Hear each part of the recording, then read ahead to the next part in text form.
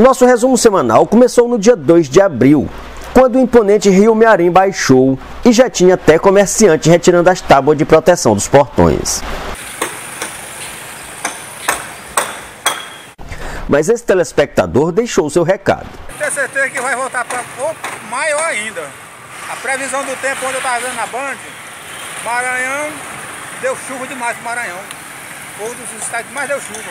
A previsão do tempo ontem. E ele estava certo. Subiu tanto que assustou até quem estava com restrição de circulação, como o senhor João Miguel e a esposa. Eu tive a minha velha e minha filha aqui dentro de casa e aqui é lá a gente sai, bota aqui essa mochilinha na cara. Mas é um pouco difícil, né? A gente tem que estar preso de casa, não pode sair, mas tem que ser assim, né? Precisa comprar coisa para comer, né? Em meio ao enfrentamento da crise, existe aquelas pessoas que aproveitam para faturar. A travessia de um veículo custa em torno de 80 reais. Rapaz, tá na média de 80 reais aí a travessia.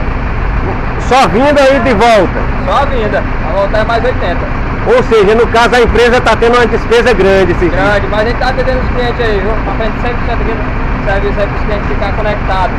Em outro ponto da cidade, esse canoeiro falou como estava enfrentando mais esse desafio. Como sempre, né? Com coragem, com fé, que a hora as águas vai baixar e as coisas vão melhorar pra gente. No exato momento em que falava com Fernando, os bombeiros se preparavam para levar o corpo do homem que havia se afogado um dia antes. Ele flutuou, porque depois de 24 horas o, o corpo ele tende a, a absorver água e a, e a subir.